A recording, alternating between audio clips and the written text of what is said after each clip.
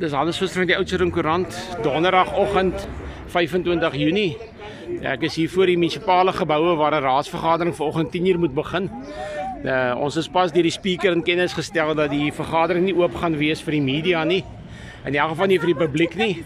Uh hierso is nou raadslede hier buite. Dit is redelik hulle skelm. Dis redelik verwarrend op die oomblik.